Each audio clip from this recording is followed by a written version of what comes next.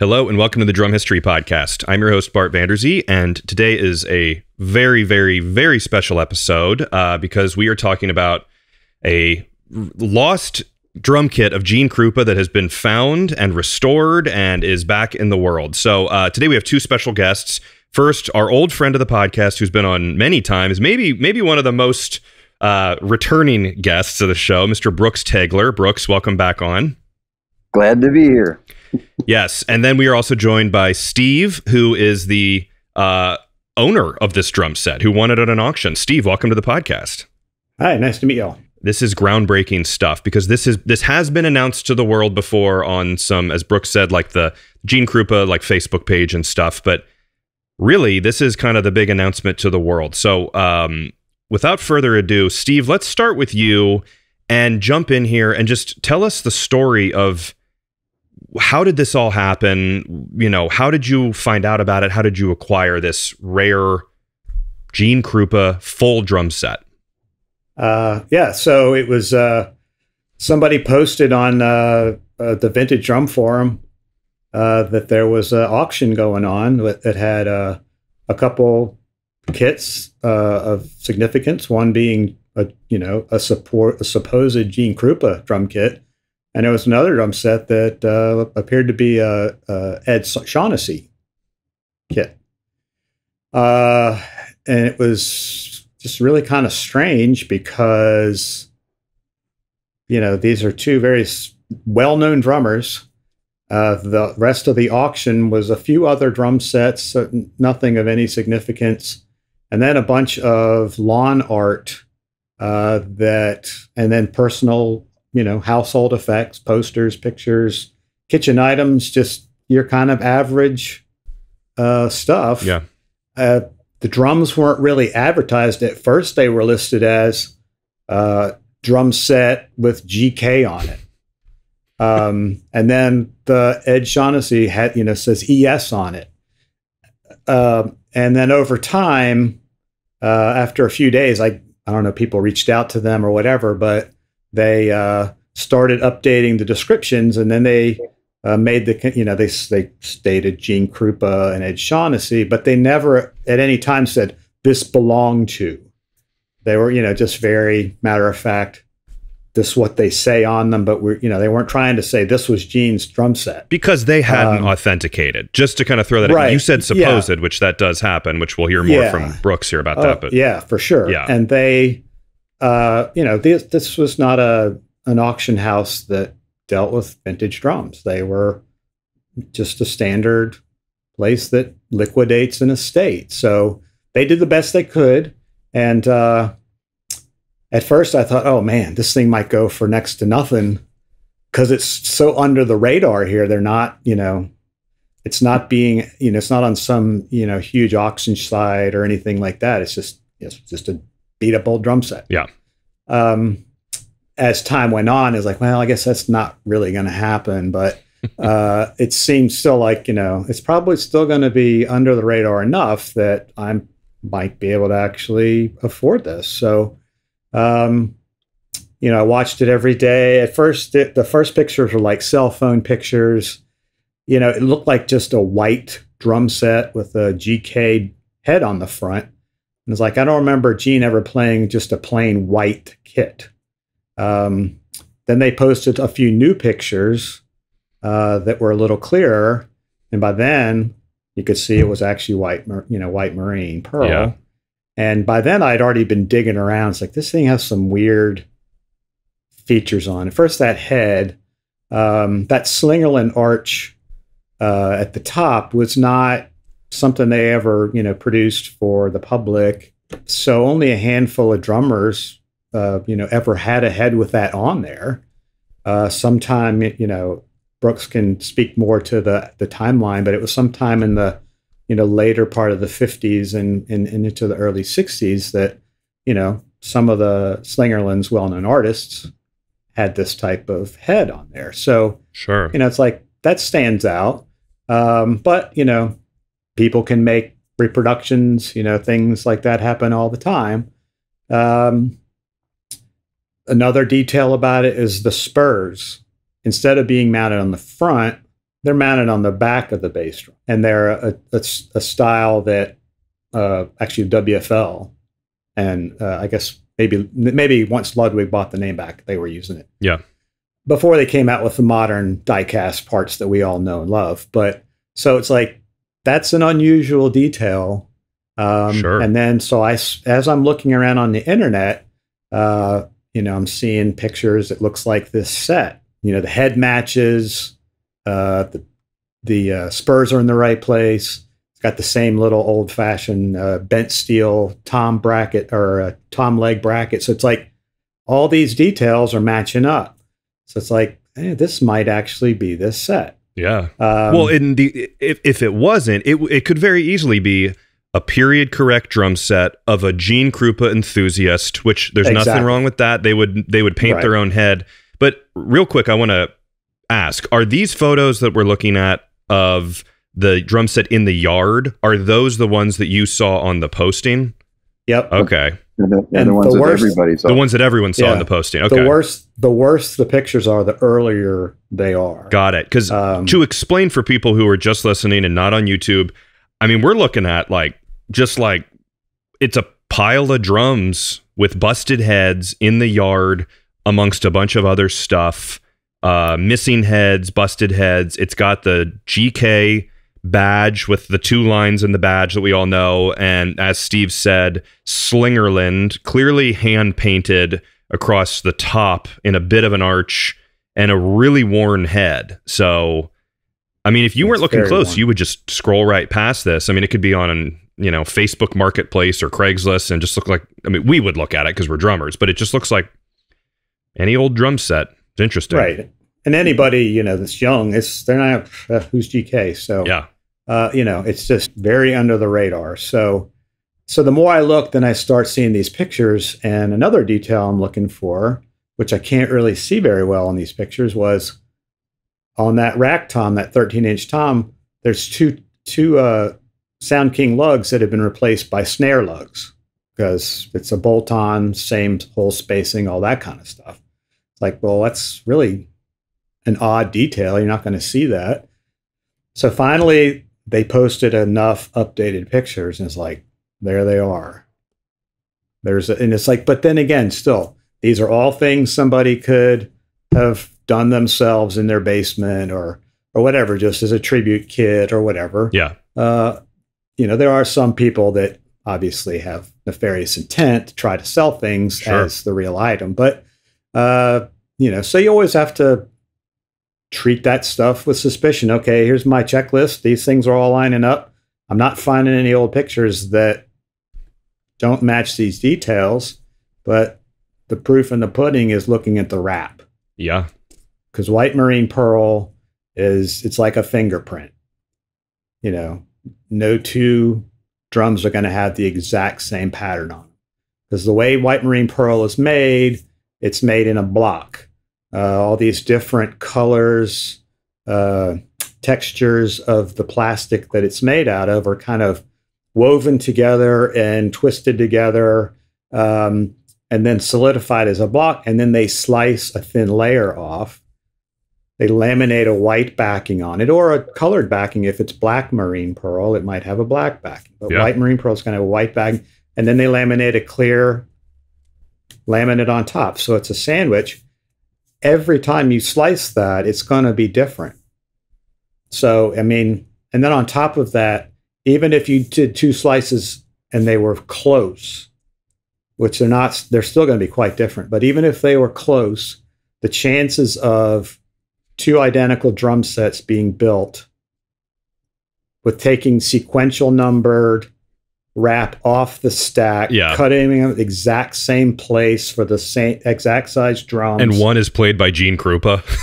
Right. it's like You it know, becomes. and not to mention that floor tom is a 20 by 20 Yeah. which not exactly something you see every day No. so you know so that's really the without a, any provenance so to speak the wrap is really going to be the proof so Yeah. there was enough pictures posted towards the end that i i got a good enough feeling that this was actually the kit Man. really that that set. so I, you know, I had already talked to my wife about, you know, what I was thinking of doing, and she didn't talk me off the ledge or anything. And we discussed, you know, money and all that stuff. And so I had to go ahead and uh, waited to the last minute and and bid on it. And um, as I when I hit the bid button, I'm like, oh man, what have I done? yeah. Because you know, I haven't seen it in person. Uh, I haven't seen really great shots of the wrap. I've seen enough pattern Yeah. matches in there that I'm pretty sure. But you know, until you see it and really know for a fact, it's like you know. Yeah. So it's like, oh man, it's like, oh well, I'm not going to win this anyway. Somebody's going to swoop in at the last minute.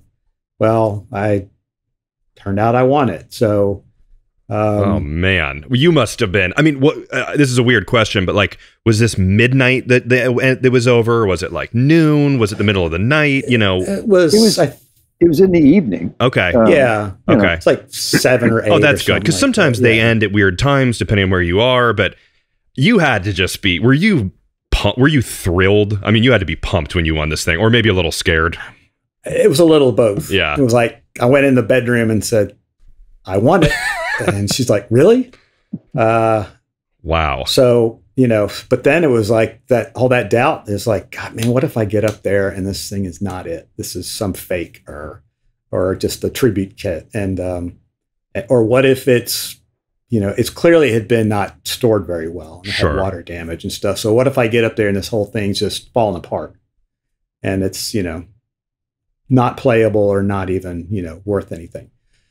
So, you know, it's like, well, I've done it now. I don't Yeah, have any choice. You I'm bought gonna- it. Yeah. So uh, my son and I hopped in the car the next morning, and uh, you know that was another thing. I'd figured out. Okay, this is this is kind of at the limit of what can be driven uh, yeah. in one wake cycle uh, with some adrenaline and some coffee. So uh, we hopped in the car and um, and headed up on up there. Uh, you know, it was dark when we left. It was really dark when we got back. So it was a long day. Yeah. Um, but you know, the whole way there, it's like, oh God, what have I done? Oh, this is gonna be awesome. What have I done? This is gonna be awesome. Um, so we get there, and you know, I had already. Apparently, a lot of people had already found this house online uh, beforehand, and I did too. I had already researched. There was one picture on the auction site that had the street number on the front of the house, and the little town where it was in is very small. Hmm. I was like, well, hey, let's go on Google Maps and see if I can find it. Yeah. Um, and when I found it on Google Maps, it was no doubt because on the auction listing was all this lawn art. This house was uh, a little local uh, landmark. This gentleman had a, a huge collection of, uh, you know, there was a I don't know, ten foot Sasquatch and a bear Wow. a, Cool. a big pilot fish and I mean just all kinds of things. And he would the whole front of his house was covered with this stuff. And then when you go back behind it, there was even more back there and he would rotate it out. So, you know, this house was well known for that. It wasn't known for what lurked inside as far as this guy's drum collection. Yeah. Yeah. So, uh, so when I got there, I kind of felt like I'd already been there because I had driven it on Street View. So I go around back, and uh, you know, there's this garage in the back, and there's all the ev- everything, all the drums are in there, and uh, you know, it's just your average, you know, not finished off garage, quite dirty and everything. And there's a gentleman there picking up the uh, Ed Shaughnessy kit. Uh, we spoke a little bit. He offered to buy the set from me. He was one of the other three. I mean, it was me, Brooks, and this other gentleman were kind of hitting the bid button at the last minute. And Yeah. uh, so he uh, he said he had some Gene Krupa stuff, and then he, and you know, so anyway, it was, we had a nice little chat, and uh, I looked at the Shaughnessy set, and it it looked legit. Still had the heads on the front of the bass drums, and you know, he had apparently two or three kits stored, you know, geographic different areas, so didn't have to ship them cross country. So this is one of his uh, backup kits. So Cool. um, So, you know, I walk into the garage, or he says, There's your stuff over there. And I look, and there's in the corner, sitting on the floor, like sitting on some cardboard, is this kit, along with there's another another drum set in, included and some odds and ends. Just it was a lot. Uh, there was a Remo drum set and some just miscellaneous stuff. So I didn't buy it for that. I bought it for this set. You didn't buy this for the Remo no, drum no, set. did not. Uh, so, you know, I kind of look over there and it's just, you know, sitting over there and it's like, man, I hope that, you know, I don't know where this thing's been stored, you know, knowing that it's had some water damage. But so I went over and kind of looked it over. It's like, you know, I mean, it looks looks legit, but then you know, I looked at certain. I looked at the strainer on the snare drum, and the chrome looked really good in the dark there, and I was like, it looked a little too good. And I was like, you know, Yeah. it's just like that doubt. you You're know, not skeptical though. It's like you Yeah. can't let yourself be too excited Right. because you could the disappointment could be uh, Right. Financially and just- emotionally not good. Yeah, Yeah. for sure. So, you know, I looked it over, like, let's look in the bass drum because, you know, in the pictures, I could tell that the, the front bass drum head had gotten wet. Uh, there's like a lot of mold staining on it. Uh, it looks all wrinkly. The scarf joint is busted on the uh, front hoop. Um, so clearly it was, you know, sitting face down somewhere where it got a, in, in some water. Yep. So I knew there was some, you know, damage related to that. It's like I bet that front re-ring is half off or all the way off.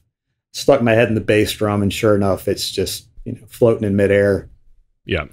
But it nothing looked like it was irreparably damaged. Um, it was all the correct sizes, everything. You know, I didn't see any details that didn't match what I was expecting. Hmm. Um, but you know, still like, man, until I get this thing home and start literally looking at the wrap, I'm not going to know, and I'm not. I don't have time to do that here. Yeah.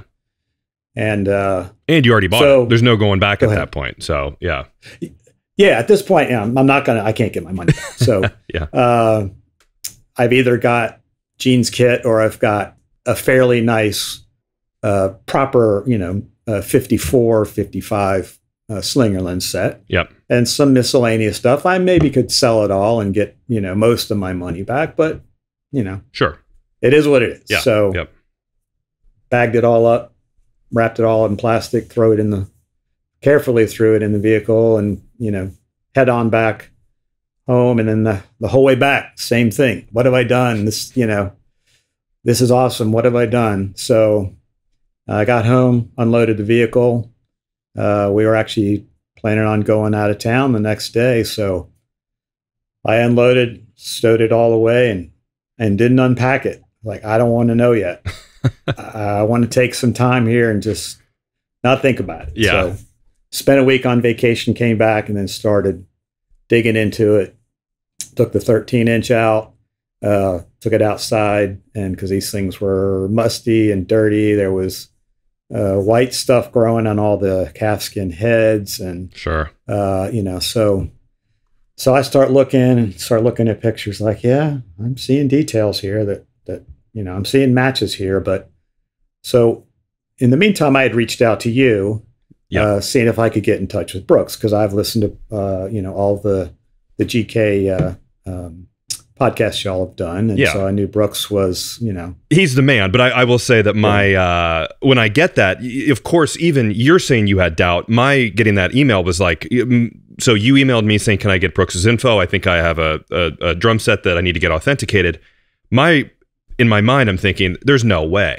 You know what I mean? Of course, it's it's so rare that it would actually be a real deal drum set. And I was like, but of course, I was like, you know, I don't think Brooks would mind. He he enjoys this stuff, but he's Brooks, as as he can say when, when we get to that part, is he's seen a lot of fakes. So I was when this ended up being that like, oh no, this is real. I couldn't believe it that you know it, it all worked out. But anyway, yeah. So you you got my you got the info from me about Brooks, and yeah, Yep. So I reached out to Brooks and uh, so I start, you know, we start a conversation and I start sending him pictures and um, you know, he, you know, he he told me that he had been bidding on it too and Uh, you know, it's like, oh wow, uh, sorry, and um, so, um, you know, I start taking, you know, sending him as many pictures because I want, you know, he's documented all this stuff. He was involved with that the big 2018 find, and you know, I want him to have as much documentation of, of this set as possible.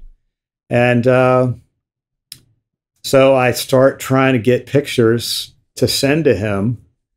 And it was like, I'm just not capturing it on, you know, just not capturing it. I can see it in person, but to actually capture it where somebody can Yeah. say, oh, yeah, that's a match. So I played around with it using my phone, using different lights and everything. Finally, I just kind of said, well, I guess I need what I need to do is I need to duplicate as close as I can the position that the original camera was in and where the flash was and where the angle of the drum. Yeah, because to explain a little bit, I think Brooks will attest to this more. Authenticating stuff like this is usually comparing an original photo of Gene playing the drums to, you know, lineup markings, white marine pearl, f- fingerprint, as you said. Uh, there's a, you know, this lug is missing here. It's it's marking that. That's typically the way to authenticate these things, right? Yeah, absolutely. Well, if, especially if it's marine pearl. Yeah. Technically, it's marine pearl. White. The word white was added much later. Gotcha. Um, okay, I stand corrected. But but yeah, I mean, I used the the very first time I used the fingerprint method was in uh, nineteen oh brother ninety four, I guess, uh, to actually prove that a drum was not a Krupa drum. Hmm. It was easier because there were good pictures of you know present and shots of uh, that particular snare from Gene. Yeah. Um, and yeah, it's unmistakable. The whole the whole idea that each one is going to be unique because of the pattern of the pearl Sure. um, Yeah. is a perfect way if you can. Biggest problem, I'm still working on that for a six and a half inch snare that I have now. Finding decent photographs. The From older it then. gets, yeah, that's a problem. I've got Yeah. right here in front of me. I've got eight pictures of Gene playing one of his six and a half inch snares. None of the pictures show the marine pearl clearly enough that I can make a comparison to the one that's sitting in my bedroom floor that I'm hoping and against hope actually was one of Gene's. Yeah. So, you know, that's and I've been I've been looking at that now for over a year and a half. Wow. So yeah, but the fingerprint thing is essential. Absolutely. Okay. Okay. So Steve, you're you're then your method now is angling things. I mean, I, I mentioned it before with one of my other conversations with Brooks about this is like some like court document stuff. I mean, you're trying to get like very Yeah. and you have his Yeah. book and everything, but uh so how'd that process go? Well, so after I kind of figured out the best way to capture it, um, and also I put the the camera on a tripod because I was trying with my, you know, it's like yeah, it's tough. too many ball, too many variables here. So I got it on tripod. Like, okay, this looks as close as I can to, you know, and uh, and then I remembered I had an old Kodak uh, halogen light that would have gone on a Brownie Sure. uh, eight millimeter Yeah. camera. Smart. So you know, proper vintage. Um, so uh, you know, I'm like looking through the camera, and and then also I thought these pictures are not perfectly clear. These originals. Yeah. So try to get it as close to out, the same amount of out of focus as possible. Smart. So I start just clicking away, holding the light, you know, kind of seeing if I can see it. And then I go up and I pull the SD card out and I put it in my computer and I start looking. And I've got some of those white, the the color pictures um, that uh, there's like, you know, eight of them or whatever that Brooks uh, provided you, and I had some Yep. some copies as well, which have really good, clear. They're slightly blurry, but really good pictures. So just to say what we have here, you did the uh, snare drum with a really nice angle, very matching uh, from Universal Studios 1955 to match. You've got the floor tom, the giant floor tom, which was uh, Basin Street East, New York City, 1950 something, uh, which looks like a very accurate match. The the Oslo Norway bass drum picture. It's cool to see this because you see the line of where the wrap meets, Right. which I'm sure Yeah. that's not the biggest dead giveaway, but that's certainly Although I, I have used fun. that as well. Yeah. I've used that as, as a marker of authenticity. definitely. Um, Yeah, it's a it's a checklist. It's you know everything I'm looking at here. The because when I could even see that in the pictures on the auction site, the wrap seam is in the right place. Yeah, because you can kind of, me- you know, with your visually measure between the distance from lugs right. and know kind of what neighborhood you're in. And then you've got Tom, which was used in the Benny Goodman story, which we're going to get to this, I think, with with Brooks. But when I started seeing the photos of what this drum set has been featured in, where it's been performed, what the book covers and things, it's like this is not some like you know he bought it in 1972 and he died the next year kind of thing. It's like oh no, this is the real deal uh, drum set. So anyway, yeah, very cool. You did a great job authenticating. So then after that, what happened? I mean, at that point, I was at least the stress of, okay, I didn't blow a bunch of money on uh, on this on this stuff here. Um, so you know, I just each you know for about a week there, I was taking another drum out of out of wrapping and cleaning and looking, you know, checking condition and looking, you know, checking details. Um, you know, and overall, it's in surprisingly good shape. Um, you know, I mean, this thing has been all over the world. Uh, I mean, it was all over the U.S. Mm-hmm. It was, you know, in be- uh, lots of parts of Europe. Yep. Uh, Norway. I mean, he toured. He he, he must have just gotten it, or it only had it for a month or so. Uh, he and, and the trio went to Australia and Man. went, you know, did a tour for I don't know, it was about a week or two or something. So I mean, it's been all over, um, and it probably spent its life in a set of fiber cases. You know, nothing fancy like we have today with you know padding and you know all this stuff. You know, these were tools; these weren't collectibles; these were tools, and so they spent a lot of time rattling around in um, in fiber cases uh, being set up and torn down by you know various people um not necessarily all drummers or whatever. I mean just yeah, you know. yeah, yeah. so it you know it's it's held up remarkably well. The, the wrap's in really good shape. There's a few little splits along some of the seams due to the moisture that it, it sustained but most of the die cast parts are still in decent shape the chrome is still pretty nice uh, the claws and and tees. Um, so the better part of those are made out of steel. Chrome plating is a good rust representative, but it doesn't, you know, it's not 100%. And you stick something in a damp basement, especially if there's some sort of flood, um, Yeah. you know, so there's a lot of uh, surface rust and, and just flat out rust on the claws and the tees. The handles are made out of brass on those uh, old school ones. Uh, there's wear on the center part of the uh, the barrel because they're like balls on the end and a little uh, cylindrical flat spot in the middle. Uh, Brooks refers to these as the barrel handles. Barrel Um, center. Barrel center handles. There's uh, you see raw brass Hmm. on the tips, Sure. uh, and they're kind of spindly uh, from where they uh, tighten against the claw. It's about maybe three eighths of an inch, just continuing tension rod. We all know what the the diameter of a tension rod Yep. is, and then that fits into the T handle. Those things, a lot of them are bent uh, a little bit, not terribly, but it's like you know Yeah. these these things have been all over the world. And it's if I'm I'm assuming I'm going back to 1955. Let's call it's round down or up here a little bit. The drum set's basically about 70 years old now. Right, At, at that, right. you know, ish. Right. So Right. let's give her a break.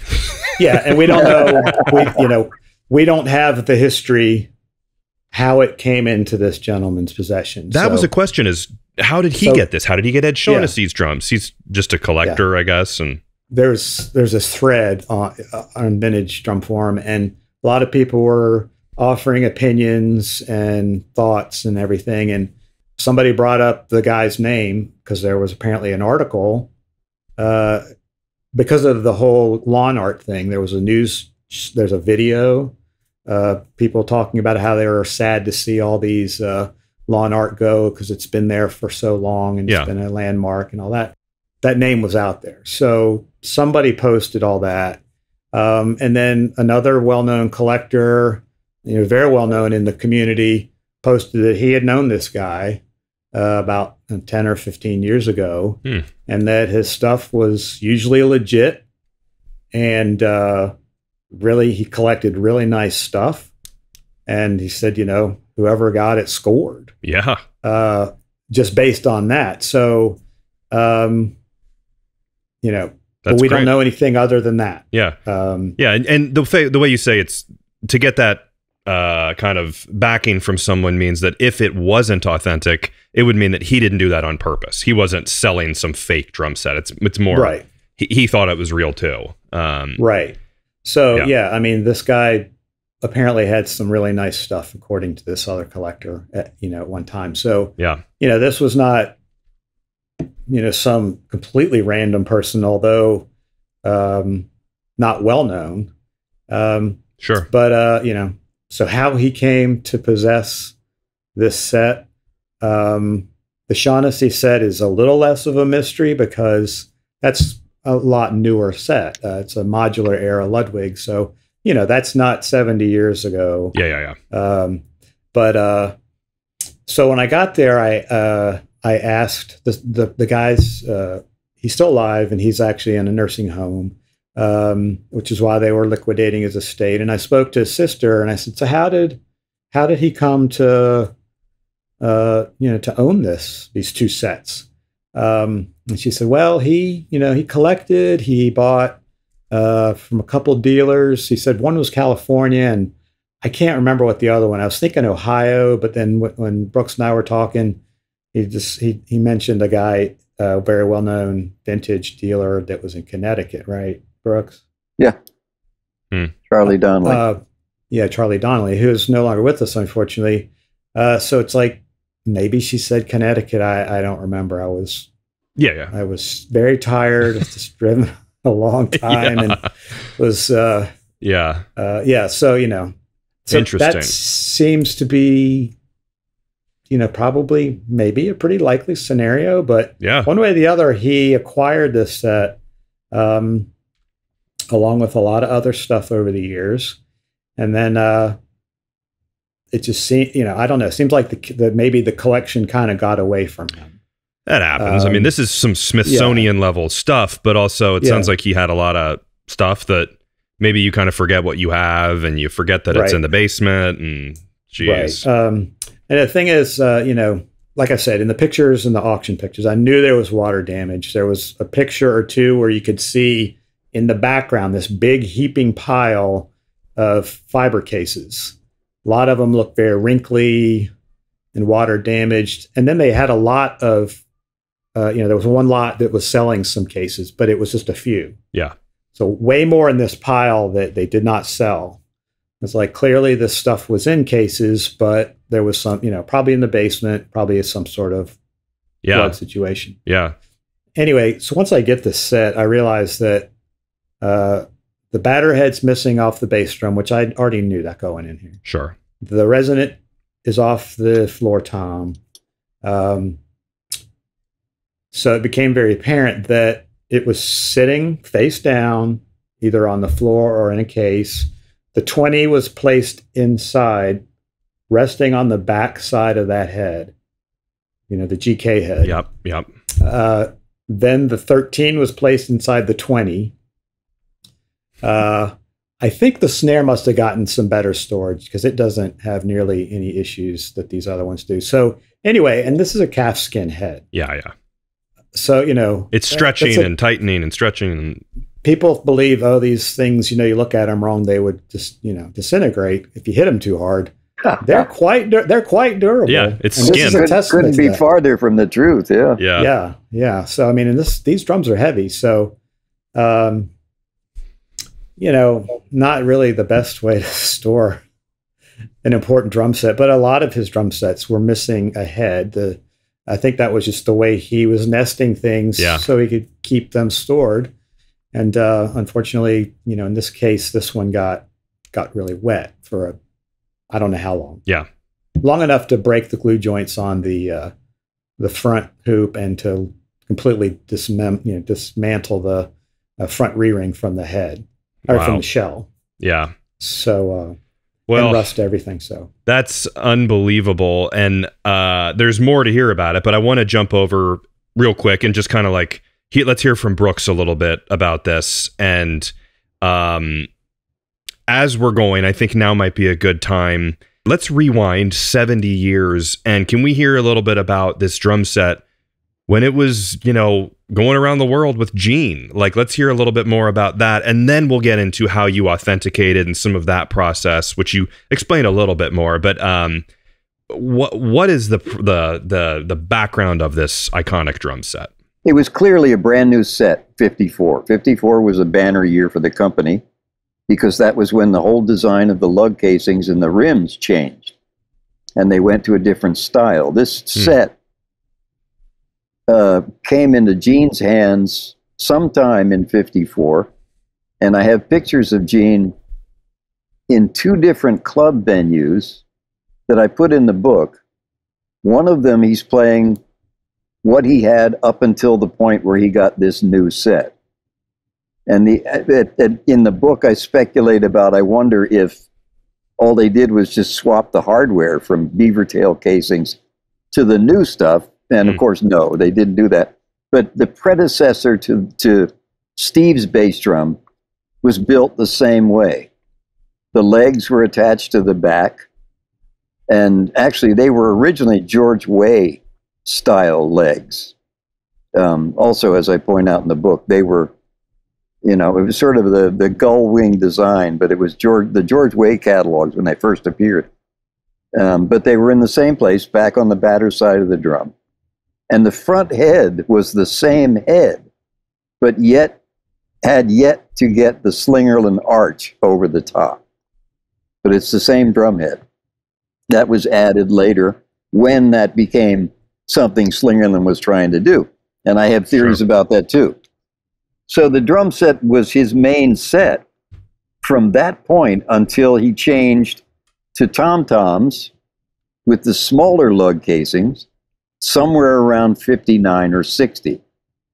But the bass drum, up until that point, maybe even after, was the same thing. It was the original, you know, barrel center T rods, et cetera, et cetera, legs in the back. And then he switched after that to the more typical 24 where the leg spurs were Slingerland and they were in the, again, on the front of the shell. Hmm. What he got was 20 by 20 because he had started using that style floor tom in the late 40s, well before. He had gone down from a 26 to a 24. He'd been using a 12 by 24 prior to that. But then he got this set and it was brand new in the in the early 50s somewhere. And then he switched over in 54 to the newer style hardware, probably out of obligation Yeah. uh, more than anything else, because that's the kind of guy he was. Um, so the set became his main set and it went everywhere. As Steve said, it was all over the world, hundreds of venues here in the States, Australia, films, record dates. As a matter of fact, a lot of people's favorite Krupa album is the one called Drummer Man. Yeah. This set was used for that entire album. Unbelievable. Um, and it's on the cover of the Drummin' Men book, which I have a copy of downstairs. Right. That's when I saw that I was like, "Oh my god, that's awesome." Yeah. And if I'm not mistaken, Krupa and Rich that album, right? Yes. So yeah, I mean this it's it's extremely iconic set because it was the one he used most of the time, if not all the time, unless it was a rental. he did use rentals for at least three years. Um, the different toms start showing up in 57. So, you know, I, I think it was at least three years, but off and on he may have used pieces of it later. It's hard to tell, really. But he was usually pretty consistent about sticking with whatever was current. Yeah. So it would be Um, 55 to like 58. I would say 54. Oh, that was 54 to what- 57. Okay. That's when that's when the new design. A lot of people Gotcha. Yeah. have gotten that wrong. It's the the new design for the hardware actually came out in 54. And retailers would get a letter from Slingerland saying, "Here's the new hardware." And that Hmm. letter was dated August of 1954. Yeah. So I have a, I have a copy of one. So anyway, so yeah, 54 to 57 is the the less detailed range of when Gene used that set. And as we said, he used it everywhere. In learning about some of the things that were done with the set, I can understand why, because it dealt with a number of problems. Steve can probably get into it better, but so unbelievably iconic set that luckily, you know, it's it's been saved. Yeah. I mean, I will say that Brooks, as as someone who you, I'm sure you wanted to win this drum set. I mean, I, but but we've joked that it's, uh, you know, that's some. Sometimes if you don't win an auction, it can be, uh, okay, now I don't have to like sell my car to go buy this thing or something. Well, I, I, I do have to say that I was tipped off about this auction before it even started by a good friend of mine named Bob Cianci. And Bob sent me a note said, Did you know this was going on? And this was all preliminary auction information, like for a week. So I'm sitting here, I'm all set, I got everything scoped out, and I'm sweating bullets for the beginning of this thing. It's like, come on, come on, come on, let's go. Let's go yeah. in the process of bidding over, I guess, what was it, Steve, a week's time that the Yeah, auction it's a went week, on? week, week, week and a half, something. I made two phone calls to the auction people, and I found out halfway through, and this is when everything, Steve had mentioned it, he may not have known it, but somebody clued them in to what they were selling. They had Oh, no idea. And somebody obviously said, You guys have a Gene Krupa drum set there. You know, you need to up your game as far as displaying that. and then I guess that's when it got separated from all the Remo stuff, because originally it was listed with all these other junk drums. I'd be curious to find out what happened to that Trixon snare. Do you know? I noticed a Trixon like uh, little T behind in the picture, and I was like, hey, Yeah. I wonder where that went. yeah, I have it. it. They that all that stuff stayed. oh, with they kept that. one- They kept that lot. Good. Okay. There was there was one leopard skin uh, tube lug snare drum that got pulled out Wow. early on. Really? But all that other stuff, yeah, I have all that other stuff. Great. Well, good luck with that then. B- bonus. yeah. anyway, um, Taking up space. so it was. She told me that yeah, somebody had contacted them and told them what they had and what they were selling. And at that point, all of a sudden, I watched the bidding go berserk. You know, and it was like, okay, Yep. so much for me ever getting near this thing. And I had good friends of mine that have a lot more money than I do going, oh, come on, man, go for it, go for it. And I'm going, I'm already past what I could ever afford. but it was it was frustrating but fun at the same time. So, But you, know, have to feel good about this drum set being in the world. oh yeah, you know what I mean? As a historian, Sure. it's just a great thing. Sure, Yeah. is- and it's great that someone like Steve, who's doing a great thing with it and and bringing it, you know, doing the right, doing it the right way. Um, Right. It's great for all of us. well, just to know it's there. as we all know, we're only caretakers of this stuff for a, a certain period of time, and after that, hopefully, it goes to another caretaker. Um, but as we also know, museums are not that interested in drums. Um, some stuff has recently rec- of Gene's has recently gone to the PAS people, and that's great. But it might be years before anyone ever sees it. Um, sure. and of course, lots of talk about Charlie's collection being a museum, which I believe is what will happen. So, but you know, how many drum museums are there going to be? Not many. And, you know, Yeah. a museum's going to accept a donation. They're not going to buy something. It's frustrating, yeah. but that's the reality of it.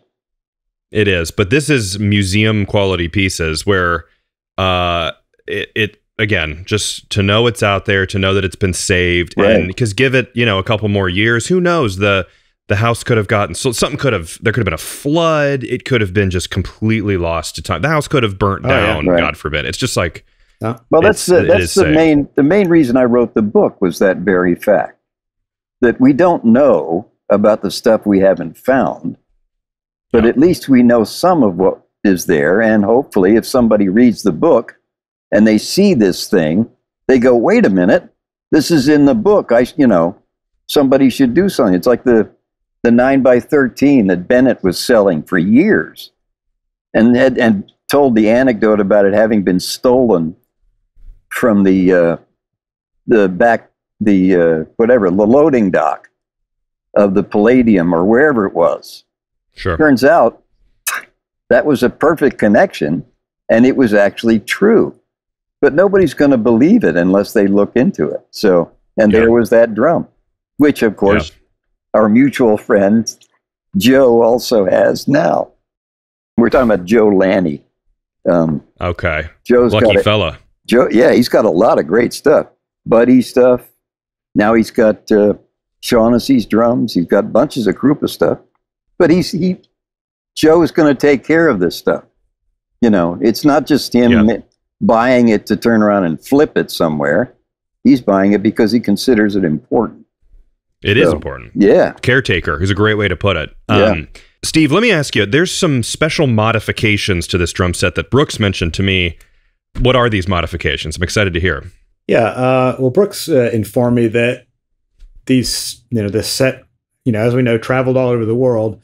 A lot of times the people setting them up were, you know, it wasn't Gene. It was, you know, some stagehand or just, you know, whatever. Yeah. A, a non drummer. So um, these modifications made it a lot easier for somebody who doesn't know drums to set things up as close to the same every time. Uh, one is the floor tom legs. Uh, they're just straight legs, but about halfway up, there's a groove cut in them.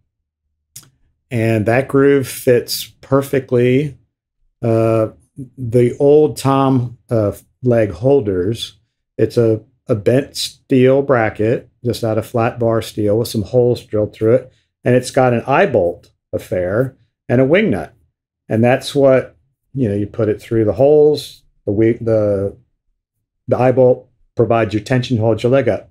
Well, these allow you to put the leg to the right position, and that little eye bolt will go down in that groove. That's interesting. This is like very, very early. Uh, it's like pre-memory lock. Right. now, people Yeah. would have the memory locks. Yeah. but it's- Exactly. Yeah. Right. Interesting.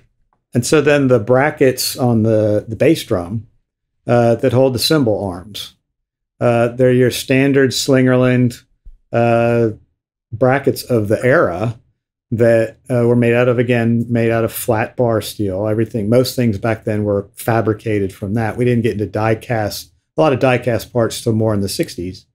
Um, and from all the pictures, like, oh, just that's just a garden variety Slingerland uh, bracket. Uh, it had a little uh, had pressed knobs on it, and people usually refer to this as a telephone dial um, a ratchet system, like is we, see on uh, rail consolettes Sure. from the '60s. And there's a there's, there's one or more holes on the little bracket that clamps on the L rod for your cymbal arm, and then you can rotate it depending on what how you want. Well, anyway, I pull this off. One of them was one of the little clamps was missing, but I see there's a little notch cut in the side of the bracket, and the little knobs are all flattened out. And I look at the bracket that holds the L arm, and it's not the standard one because the standard one is just curved along the edge there where the two parts kind of come together, and then the wing nut goes through. Well, this one comes down and it's got a 90 degree angle on it, and it fits perfectly in that slot.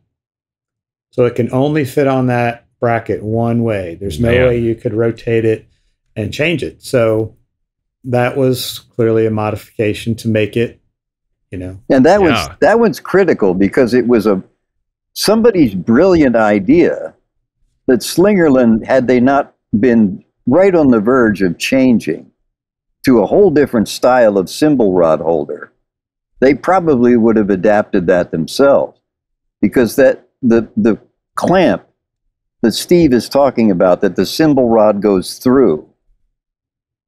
The original ones with had the, you know, they they had corresponding holes and nibs that you know the two pieces go together. They're supposed to Yep. lock in together.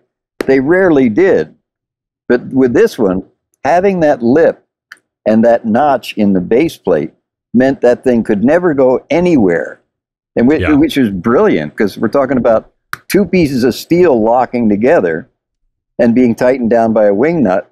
They should have done that with all of them, you know. Well, yeah. Instead of it slowly falling and then get each time, it'll Right. never be as tight Right. as it was. And, and bear in yeah. mind that Gene was using a 24 inch ride cymbal in those days. So any Yeah, support, and this is probably why it happened. Any Yeah. support that he could get for keeping that thing in the same place was important.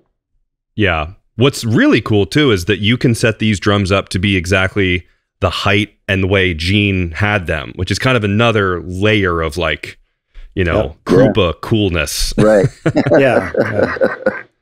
Yeah, so that along with the uh, the uh, you know the spurs being mounted on the batter side, Yep. uh, you know those. I mean, I didn't realize I did not realize the situation with the floor tom legs from the auction, and I didn't realize the other one because I'm like sending pictures to Brooks, and I'm like sending me a prepare to have your mind blown, and here's the pictures of this bracket, uh, and it was the the little bracket with the the lip that hangs over. That was a standard a WNA part on a different clamp that somebody said, well, you know what? This we can take these two pieces and make them work better than what we currently sell. Well, I think I mentioned to you a while back, Steve, that the ones, the cymbal bracket holders that Gene used in the 40s and up until the early 50s were just a flat bar.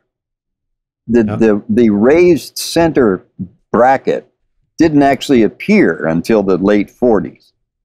And Gene already had a lot of drums that he was using. And that particular flat bar had a clamp similar to what's on there now.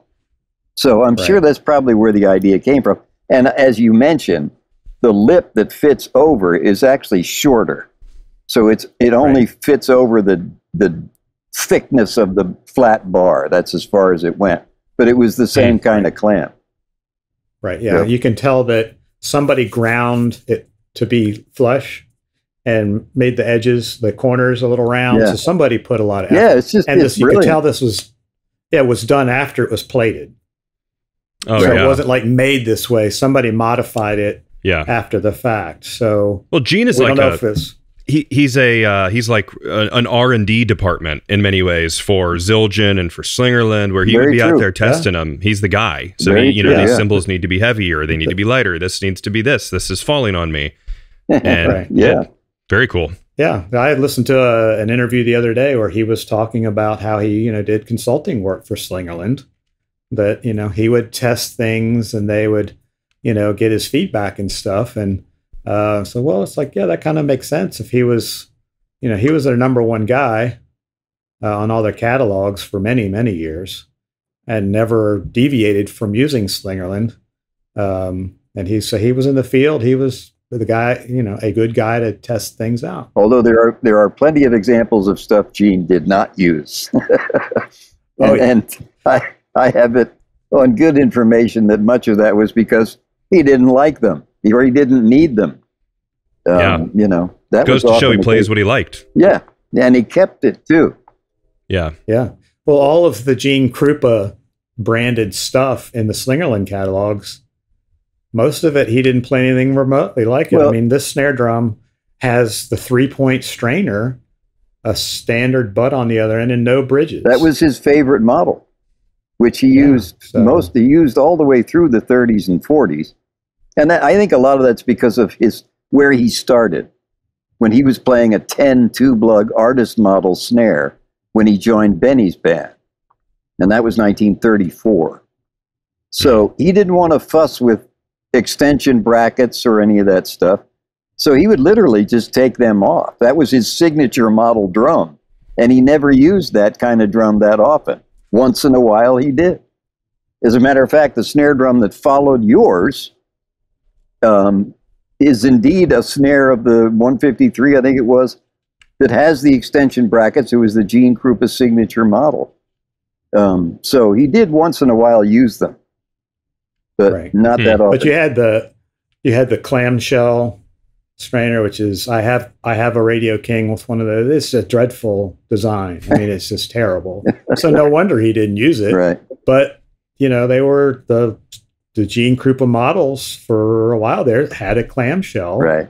uh, strainer. So, but you know, That's pretty common. of- Though you see the Yeah. guitarist who's not using his signature guitar because it's three hundred dollars and right, Right. right, very true. And and one thing we got to talk about too, a few things is just the uh the the rash kind of stuff on this drum set, which adds so much coolness to it. The cowbell rash where his cowbell was just from getting played, and Gene's cowbell was very iconic. I mean, it's it's just neat to see that you know. I'm sure it's just taking on, taking off, taking on, taking off Yeah. year after year. It's just uh it's neat. Yeah. And then also there's the chrome loss on the um the throw off there. That's pretty cool. I mean, it's just heavy Yeah. use.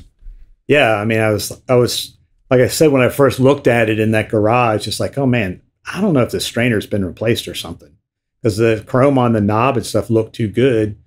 Uh, and then I was looking at it a couple days ago. I was like, oh yeah, I don't know about that strainer. And then I got up real close to it uh, with a magnifying glass. I was like, oh wait, this isn't perfect. Yeah. And look, right on the edge there, where his thumb went, there's chrome worn off.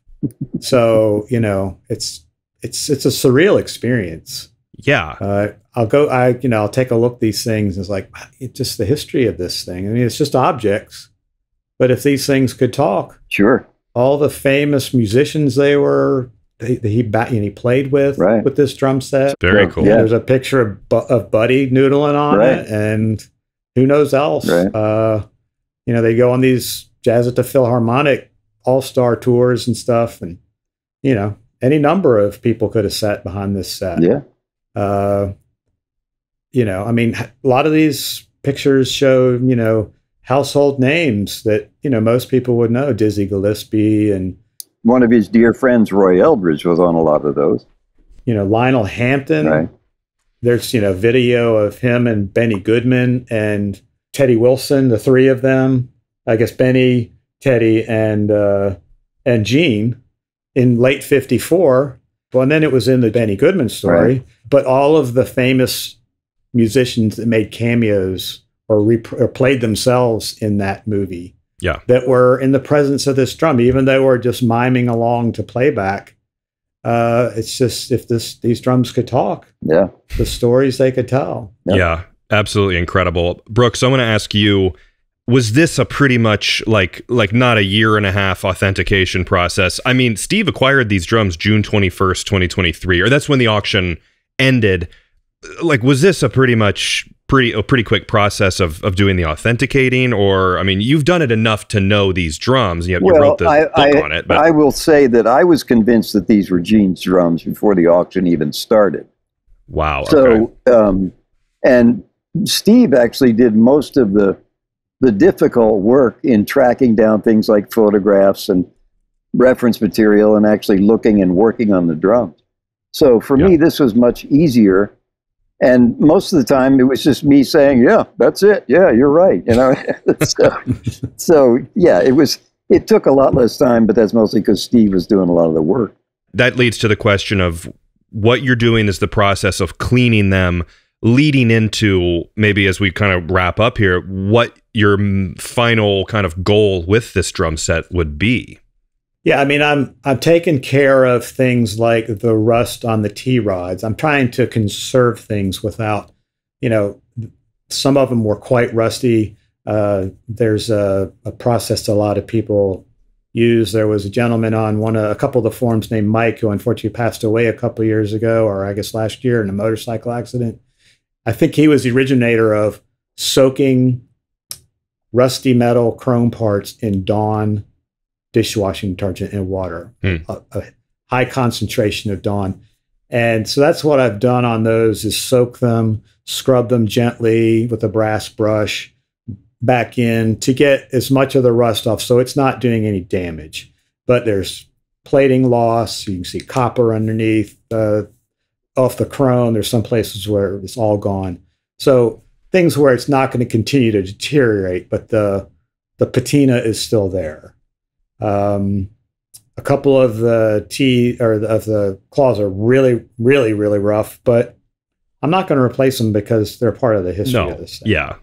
So I think it's um, a it's a its terminology would be museums would say preservation as opposed to restoration. So Right, this yes. is definitely a preservation mission. right. Yeah. Yeah. So I'm not, you know, I'm not, I'm not taking anything off the drums unless they needed to come off. I took pictures of where the washers were clocked because they all say Slingerland Chicago on them. Oh, cool. uh, you know, a few things I've had to take off for various reasons, but they've all gone back in the same exact spot. Uh, I'm just trying to preserve it as best I can. Yeah. Uh, Yeah. Well, what So- do you put? Is this going to be kind of just set up in your house, or uh, do you have any big goal to like display it anywhere, or are you kind of taking it day by day? not really sure. Uh, I mean, when I saw the state that these things were in the auction, uh, you know, they needed they needed a home. Yeah. Uh, they clearly weren't in in great shape. They weren't being stored correctly. Uh, I felt like me between me and uh, you know some some other people I know, you know, I could get this thing back to where it's no longer deteriorating, uh, not going to fall apart, and will be there for future generations. Um, beyond that, I haven't got a lot given it a lot of thought. I you know I would like to. I would like for it to be able to the public to be able to see it in some capacity, but you know, as Brooks said, it's like, you know, there's not a ton of interest in that sort of thing. So, uh, you know, I don't really know. Um, Yeah. I'm still still kind of wrapping my head around the whole thing. Yeah. Well, I mean, it's Uh, not been very long, so you can still just enjoy them. And yeah, and, and there's still repairs need to be done. Yeah. The re-ring needs to be reattached. There's some separation. Uh, you know, I kind of feel like the set, you know, in, in Raiders of the Lost Ark, after the Nazis have captured the Ark and they have it in that crate with all their insignias on it, and it's on the on that U-boat, and then, you know, good versus evil burns that the Nazi symbols off. I kind of feel like this set was determined not to deteriorate and Yes. fall apart because given the amount of, I mean, I think this thing was sitting in a couple of inches of water Could have been, oh, yeah. man, wow. based on the condition of the, you know, all the wood parts on the front. So, and and who knows how long. Uh, so you know, it could have very easily deteriorated to the point where it wasn't recognizable. If that head had been head had been thrown away, uh, it was just another drums old drum set to somebody. I, th- I think there's even something a little more special to it ver- uh, with you buying it in that shape, looking at those pictures of it in the yard, as opposed to you buying it in maybe the shape it is now, where it's been set up and and there's pictures of it. Something pretty cool about buying this pile of drums that has needs to be saved. You know what I mean? Like there's Yeah. something Yeah. very special about like you you got it. It's been saved. It's not you're not the second guy to like get his hands on it. and, and like Brooks says, I really uh, subscribe to that. You know, unless you're immortal, these things will pass to someone else at some point. Uh, so I'm merely a caretaker at this point.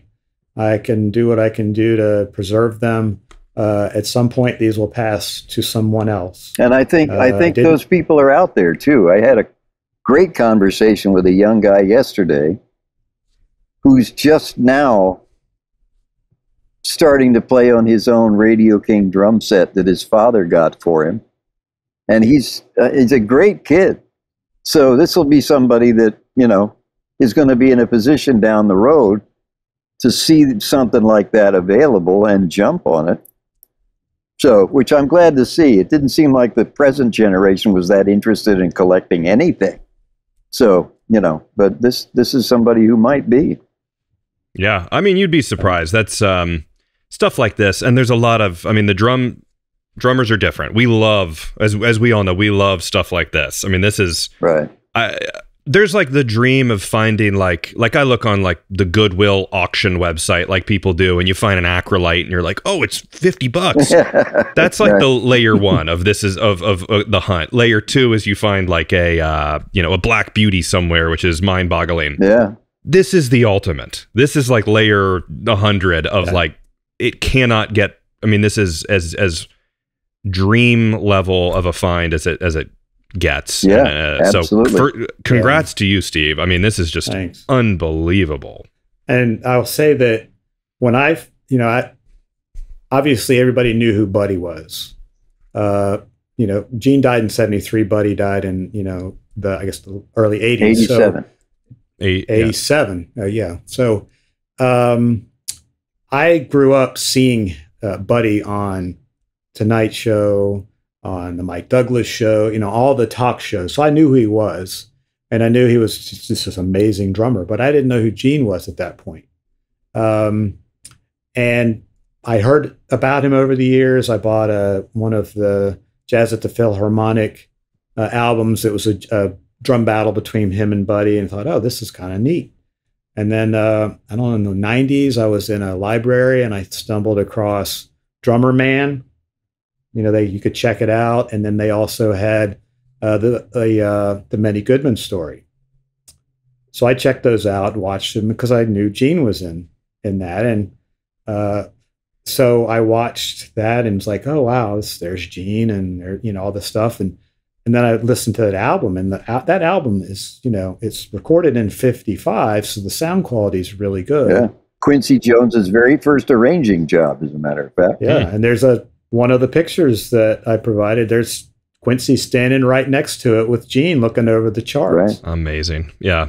And then so I went out and bought a bunch of other CDs back in the days when we bought CDs. I went to Best Buy and bought everything that's any kind of Gene Krupa or Benny Goodman compilation, and some of them were just unlistenable because it sounded like somebody bought an old scratched up record at Goodwill and then recorded it and put a compilation of them on on a CD. And so over the years, a lot of official recordings have been released. A lot of that earlier stuff t- sounds a lot better than I thought it was gonna. Sure. But I got my start listening to that album and watching this movie, and this drum set is in that movie and is used for that album. Right. There's, So, a, there's an it's omen just- there. Yeah, it's, Yeah. it- it- that's another thing that blows my mind. Uh, never in my wildest dream did I think that I'd own this thing, Yeah. You can't think that. You can't ever or that it dream even that. was still out there. what do you Yeah. mean? I think that every day. What are you talking about? yeah. I, we need to change the way we think about everything. yeah, okay. Well, I was Yeah. listening. I was re-listening to one of y'all's podcasts. Uh, I think, and you were talking about Charlie's find and uh, you know all the stuff that was found. And and Brooks said, "I don't." You asked, "Do you think there's anything else out there?" And Brooks said, "I don't think there's any other complete sets out there." I was thinking about that when he said that. hopefully, Yeah. And hopefully I said not that I know of. yeah, not He that like, know, of, but- definitively, no Yeah, more. right. that, and that, yeah. Well, we you never know. Stuff turns up all the time. Right. Yeah. And at this time, when I was listening to this, this auction was taking place, and I was like, "Man, you just never know. Yep, Wow. You never know That's what's true. out there." that's true. Absolutely. So, Yes. I mean, I the that episode in particular, which led to me becoming friends with Don McCauley, which led to me getting to see the particular the bass drum that was at the uh, Gene's bass drum that was at the 2019 Chicago drum show, putting my hand on it, feeling that Gene energy, which that led to meeting Charlie Watts, was just this I, I there's something and my grandpa grew up in New Rochelle, New York. S- it- he always talked about meeting Gene as a younger guy. He took lessons with George Wettling and and you know, I never knew you know, grandpas tend to uh, you know, exaggerate a little bit, but the more I heard things I was like, man, maybe he did meet him a few times and play around in the in the New York area. I've always had this connection with Gene uh in some capacity and that's been taken to the, you know, the, the next level through my many conversations with Brooks. So the, I have been so excited all week Yeah. since Brooks texted me to do this conversation with you guys, and, and it's just unbelievable. So I'm I'm so honored to have uh, had this chance to to speak with you. And Steve, you'll have to keep us updated on on as it as it gets you know cleaner and cleaner, and you get it you know maybe set up. Or are you going to put cymbals on it? You think? And if you like display it, is that kind of are you at that point of thinking about it? yeah, I mean, I've been looking online.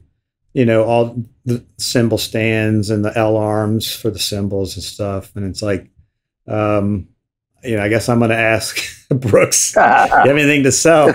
Yeah.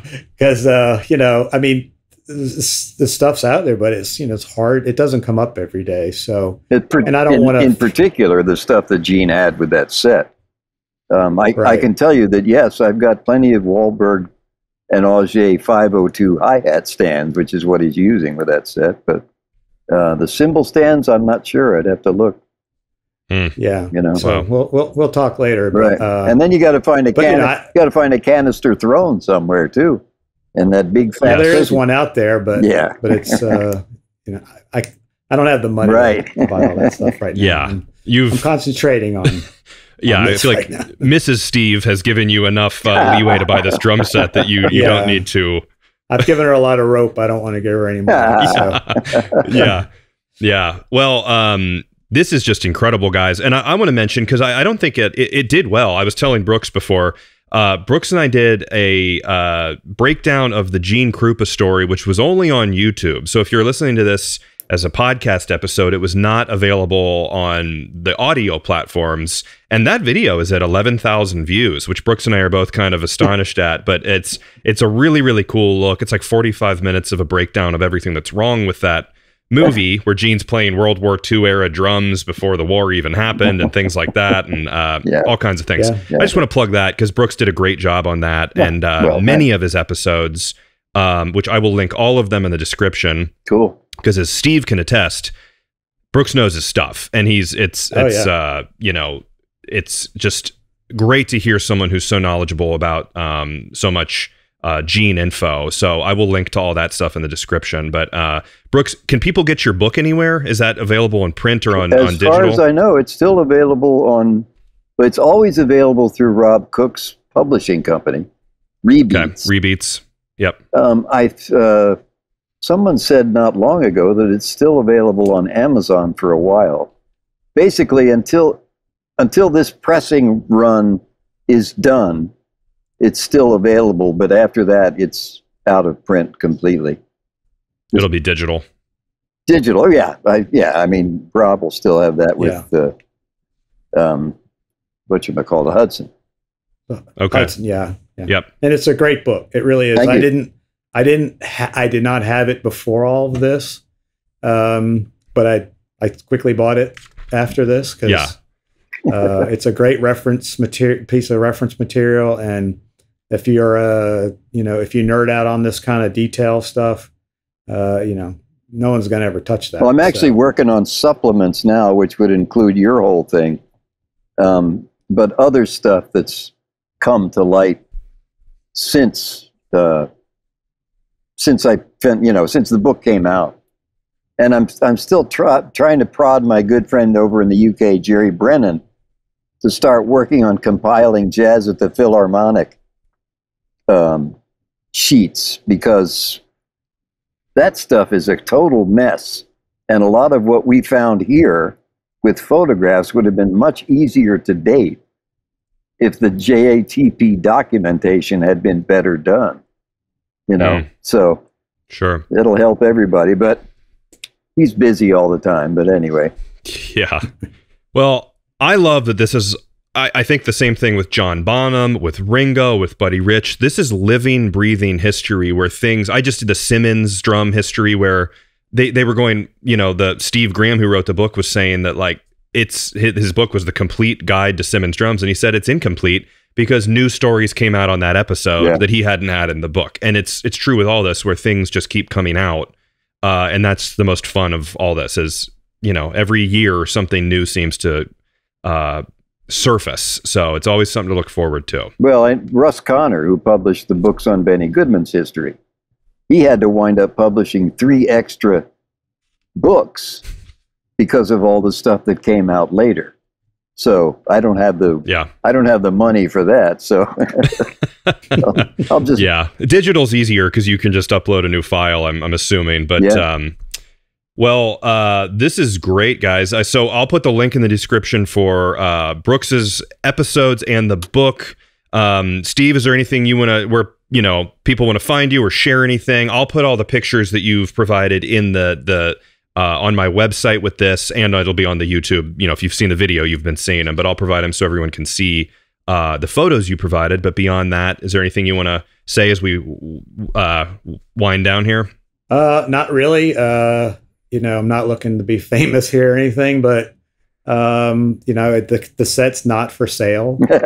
Um, That's good. I like to hear that so yeah, it's not for sale. So um, and uh, you know, thanks to Brooks. I mean, he's you know he's a man after my own heart.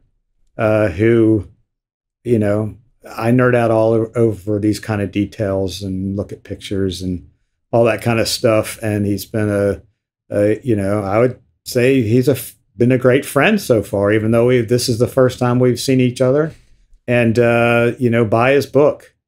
Uh, if you can't get a hold of the the physical book, buy the digital book because it's it's a great read. Even if you don't like to read, if you just like the pictures, Look at the I mean, pictures. it's I mean, you can It's- I you mean, can jump to a page and just find something interesting, and that's kind yeah. of. I mean, it's it's really a thick book. yeah, it, it's okay, a great you, guys- book. you guys It's, are making uh, me blush now. Come on, let's talk about. Well, about something you know, else. I mean, seriously, it's it is a great book. So no, thank uh, you.